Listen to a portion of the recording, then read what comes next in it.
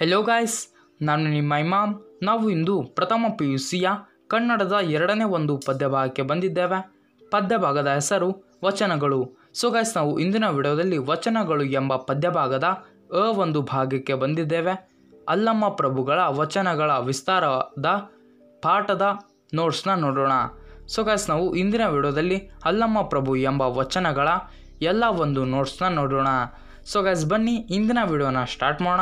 Video start ಮಾಡೋಕ್ಕಿಂತ ಮೊದಲು ನೀವು ಇನ್ನು ನಮ್ಮ ಯೂಟ್ಯೂಬ್ ಚಾನಲ್ನ ಸಬ್ಸ್ಕ್ರೈಬ್ ಮಾಡಿಲ್ಲ ಅಂತಂದರೆ ಪ್ಲೀಸ್ ಕೆಳಗೆ ಕಾಣಿಸೋ ರೆಡ್ ಕಲರ್ ಸಬ್ಸ್ಕ್ರೈಬ್ ಬಟನ್ನ ಕ್ಲಿಕ್ ಮಾಡಿ ಹಾಗೆ ಪಕ್ಕದಲ್ಲಿ ಕಾಣಿಸಿರೋ ಬೆಲ್ಲೈಕನ್ನ ಪ್ರೆಸ್ ಮಾಡಿ ಫ್ರೆಂಡ್ಸ್ ಏಕೆಂದರೆ ನಾವು ಈಗ ಒಂದು ಹೊಸ ವಿಡಿಯೋಗಳನ್ನು ಅಪ್ಲೋಡ್ ಮಾಡಿದಾಗ ಅದರ ನೋಟಿಫಿಕೇಶನ್ ನಿಮಗೆ ಎಲ್ಲರಿಗಿಂತ ಮೊದಲು ಸಿಗುತ್ತೆ.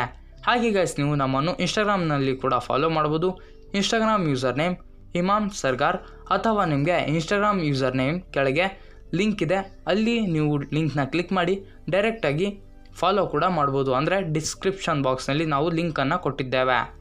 ಸೊ ಗೈಸ್ ನಿಮಗೆ ನಮ್ಮ ವಿಡಿಯೋಗಳ ಮೂಲಕ ಏನಾದರೂ ಡೌಟ್ಸ್ ಇದ್ದರೆ ನೀವು ಕಮೆಂಟ್ನಲ್ಲಿ ಅಂದರೆ ಕಮೆಂಟ್ ಸೆಕ್ಷನ್ ಬಾಕ್ಸ್ನಲ್ಲಿ ಕಮೆಂಟ್ ಮಾಡಿ ನಿಮ್ಮ ಡೌಟ್ಸ್ನ ಕ್ಲಿಯರ್ ಮಾಡಿಕೊಳ್ಳಬಹುದು. ಸೊ ಗೈಸ್ ಬನ್ನಿ, ಇಂದಿನ ವಿಡಿಯೋನ ಸ್ಟಾರ್ಟ್ ಮಾಡೋಣ. ಬನ್ನಿ, ಒಂದು ವಾಕ್ಯದಲ್ಲಿ ಉತ್ತರಿಸಿ ಎಂಬ ಪ್ರಶ್ನೆಗಳ ಉತ್ತರಗಳನ್ನು ನೋಡೋಣ. ಸೊ ಗೈಸ್ ಮೊದಲನೇ ಒಂದು ಪ್ರಶ್ನೆ ಅಲ್ಲಮ ಪ್ರಭುವಿನ ವಚನಗಳ ಅಂಕಿತ ಯಾವುದು? ಸೊಗಾಯಿಸಿದರೆ ಒಂದು ಉತ್ತರ, ಗುಹೇಶ್ವರ ಎಂಬುದು ಅಲ್ಲಮ ಪ್ರಭುವಿನ ವಚನಗಳ ಅಂಕಿತವಾಗಿದೆ.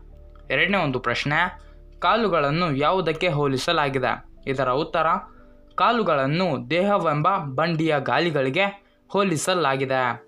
ಸುಗಾಯಿಸ್ ಮೂರನೇ ಒಂದು ಪ್ರಶ್ನೆ, ದೇಹವೆಂಬುದು ಏನು? ಸೊಗಾಯಿಸಿದರೆ ಒಂದು ಉತ್ತರ, ದೇಹವೆಂಬುದು ತುಂಬಿದ ಬಂಡಿ ಎಂದಿದ್ದಾರೆ? ಅಲ್ಲಮ್ಮ ಪ್ರಭು. ಸೊ ಗಾಯ್ಸ್ ನಾಲ್ಕನೇ ಒಂದು ಪ್ರಶ್ನೆ. ಕಟೋರಗದ ಮೊಟ್ಟೆಯನ್ನು ಎಲ್ಲಿ ಕಟ್ಟಲಾಗಿದೆ? ಸೊ ಗಾಯ್ಸ್ ಇದರ ಒಂದು ಉತ್ತರ. ಕಟೋಗರದ ಮೊಟ್ಟೆಯನ್ನು ಹಸಿದವರಿಯ ಹೊಟ್ಟೆಯ ಮೇಲೆ ಕಟ್ಟಲಾಗಿದೆ ಫ್ರೆಂಡ್ಸ್ ಸೊ ಗೈಸ್ ಐದನೇ ಒಂದು ಪ್ರಶ್ನೆ ನೋಡೋಣ. ಇಟ್ಟ ಕಲ್ಲು ಎಲ್ಲಿ ಸಿಲುಕಿದರೆ ಲಿಂಗವೆಂದು ಕೇಳುತ್ತಾನೆ. ಸೊ ಗೈಸ್ ಇದರ ಒಂದು ಉತ್ತರ.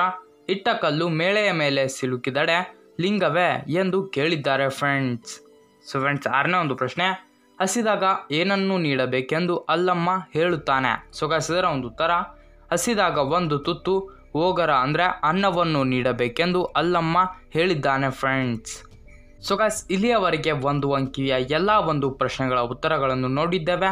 ಈಗ ನಾವು ಎರಡು ಮೂರು ವಾಕ್ಯಗಳಲ್ಲಿ ಉತ್ತರಿಸಿ ಎಂಬ ಪ್ರಶ್ನೆಗಳ ಉತ್ತರವನ್ನು ನೋಡೋಣ. ಸೊ ಗಾಯ್ಸ್ ಮೊದಲೇ ಒಂದು ಪ್ರಶ್ನೆನ ನೋಡೋಣ.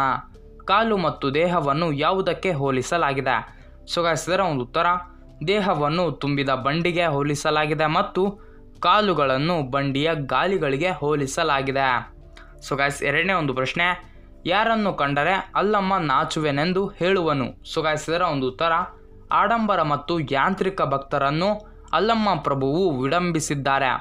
ಅಂಗದ ಮೇಲೆ ಲಿಂಗವ ಧರಿಸಿ ಅಂತರಂಗ ಭಕ್ತಿ ಇಲ್ಲದೆ ಭಕ್ತರಂತೆ ಮರೆಯುವವರನ್ನು ಕಂಡರೆ ತಾವು ನಾಚುವುದಾಗಿ ಅಲ್ಲಮ್ಮ ಪ್ರಭುವು ಹೇಳುವನು ಫ್ರೆಂಡ್ಸ್ ಸೊ ಫ್ರೆಂಡ್ಸ್ ಮೂರನೇ ಒಂದು ಪ್ರಶ್ನೆ, ಅಲ್ಲಮ್ಮ ಏನನ್ನು ನೀಡುವುದರಿಂದ ನಾ ದೇವ ಎಂದು ಹೇಳುತ್ತಾನೆ. ಸೊ ಗಾಯ್ಸ್ ಇದರ ಒಂದು ಉತ್ತರ, ದೇಹ ನೀರಡಿಕೆಗೆ ಒಳಗಾದಾಗ ಅರೆದು ಕುಡತೆ ಉದುಕವನ್ನು ಅರಿಯುವುದರಿಂದ ಹಸಿದಾಗ ಒಂದು ತುತ್ತು ಅನ್ನ ಅಂದರೆ ಓರಗವನ್ನು ನೀಡಿ ಆರೈಕೆ ಮಾಡುವುದರಿಂದಾಗಿ ನಾ ದೇವ ಎಂದು ದೇವರಿಗೆ ಹೇಳಿದ್ದಾನೆ ಫ್ರೆಂಡ್ಸ್ ಸೊ ಗಾಯ್ಸ್ ಇಲ್ಲಿಯವರೆಗೆ ಒಂದು ಅಂಕಿಯ ಮತ್ತು ಎರಡು ಅಂಕಿಯ ಎಲ್ಲ ಒಂದು ಪ್ರಶ್ನೆಗಳ ಉತ್ತರಗಳನ್ನು ನೋಡಿದ್ದೇವೆ.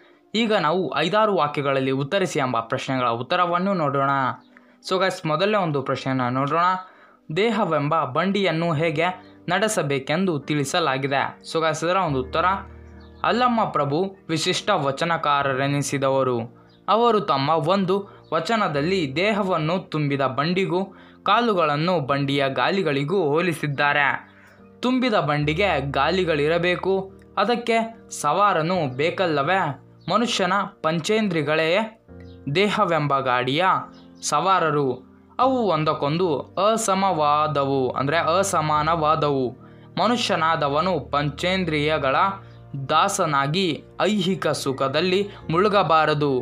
ಹೀಗೆ ಮಾಡಿದರೆ ಅವನ ವ್ಯಕ್ತಿತ್ವ ಅಂಧಪತನಗೊಳ್ಳುತ್ತದೆ ಪಂಚೇಂದ್ರಿಯಗಳನ್ನು ಹದ್ದುಬಸ್ತಿನಲ್ಲಿಟ್ಟುಕೊಂಡು ಸಮಯ ಅಂದರೆ ಸಮಯವೊಂದಿಂದ ಬಾಳ್ವೆ ಮಾಡಬೇಕು. ಹೀಗೆ ಮಾಡಿದಾಗ ಮಾತ್ರವೇ ದೇವವೆಂಬ ಅಂದರೆ ದೇಹವೆಂಬ ಬಂಡಿ ಮುಂದಕ್ಕೆ ಚಲಿಸಿ ಗುರಿ ತಲುಪುತ್ತದೆ. ಇಲ್ಲವಾದರೆ ನಾಶವಾಗುತ್ತದೆ ಎಂಬ ಅಭಿಪ್ರಾಯವನ್ನು ಅಲ್ಲಮ್ಮ ಪ್ರಭುಗಳು ನಿರೂಪಿಸಿದ್ದಾರೆ. ಸೊ ಗೈಸ್ ಎರಡನೇ ಒಂದು ಪ್ರಶ್ನೆನ ನೋಡೋಣ. ಆಡಂಬರದ ಭಕ್ತಿಯನ್ನು ಅಲ್ಲಮ್ಮ ಹೇಗೆ ಖಂಡಿಸುತ್ತಾರೆ? ಸೊ ಗೈಸ್ ಇದರ ಒಂದು ಉತ್ತರ. ಆಡಂಬರದ ಭಕ್ತಿಯನ್ನು ಅಲ್ಲಮ್ಮ ಪ್ರಭುವು ಹೊಟ್ಟೆಯ ಮೇಲೆ ಕಟೋಗರದ ಮೊಟ್ಟೆಯ ಕಟ್ಟಿ ಎಂಬ ವಚನದಲ್ಲಿ ತೀಕ್ಷವಾಗಿ ವಿಡಂಬಿಸಿದ್ದಾರೆ ಹಸಿವಾದವನಿಗೆ ಹೊಟ್ಟೆಯ ಒಳಭಾಗಕ್ಕೆ ಆಹಾರವನ್ನು ಪೂರೈಸಬೇಕೆ ಹೊರತು ಹಸಿದವನ ಹೊಟ್ಟೆಗೆ ರುಚಿಯಾದ ಭಕ್ಷ್ಯದ ಪೊಟ್ಟಣವನ್ನು ಕಟ್ಟಿದರೆ ಅವನ ಹಸಿವೆ ನೀಗುವುದಿಲ್ಲ. ಇದರಂತೆಯೇ ನಿಜವಾದ ಭಕ್ತಿ ಎಂಬುದು ಮನುಷ್ಯನ ಮನಸ್ಸಿನೊಳಗಿರಬೇಕು. ಅಂತರಂಗದ ಭಕ್ತಿ ಮುಖ್ಯವೇ ಹೊರತು ತೋರಿಕೆಗೆ ಲಿಂಗವನ್ನು ಅಂಗದಲ್ಲಿ ಧರಿಸಿಕೊಂಡು ತಿರುಗುವವನನ್ನು ನಿಜಭಕ್ತ ಎನ್ನಲಾಗದು. ಅವನ ಅಂಗದ ಮೇಲೆ ಇರುವ ಲಿಂಗ ಮೇಳೆಯ ಮೇಲಿನ ಕಲ್ಲಿದ್ದಂತೆ. ಇಟ್ಟ ಕಲ್ಲು ಮೇಳೆಯನ್ನು ಭಕ್ತನನ್ನಾಗಿಸುವುದಿಲ್ಲ. ಹೀಗೆಯೇ ಆಡಂಬರದ ಭಕ್ತನು ನಿಜ ಭಕ್ತ ನೆನೆಸುವುದಿಲ್ಲ ಎಂದು ಅಲ್ಲಮ್ಮ ಪ್ರಭುಗಳು ತೋರಿಕೆಯ ಆಡಂಬರದ ಭಕ್ತನನ್ನು ಭಕ್ತಿಯನ್ನು ಖಂಡಿಸಿರುವರು ಫ್ರೆಂಡ್ಸ್ ಸೊ ಗೈಸ್ ಮೂರನೇ ಒಂದು ಪ್ರಶ್ನೆನ ನೋಡೋಣ.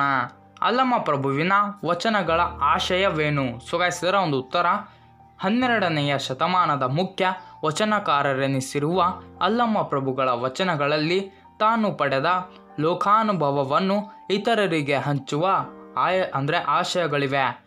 ಅವರು ತಮ್ಮ ಮೊದಲ ವಚನದಲ್ಲಿ ದೇಹವನ್ನು ತುಂಬಿದ ಬಂಡಿಗೆ ಹೋಲಿಸಿದ್ದಾರೆ. ಅಲ್ಲದೆ ದೇಹವೆಂಬ ಬಂಡಿಯನ್ನು ಸವಾರಿ ಮಾಡುವ ಪಂಚೇಂದ್ರಿಯಗಳನ್ನು ನಿಯಂತ್ರಣದಲ್ಲಿಟ್ಟುಕೊಳ್ಳದಿದ್ದರೆ ಮನುಷ್ಯ ವಿನಾಶದಂಚಿಗೆ ಸಾಗುತ್ತಿದ್ದಾನೆಂದರೆ, ಅಂದರೆ ಸಾಗುತ್ತಾನೆಂದಿದ್ದಾರೆ.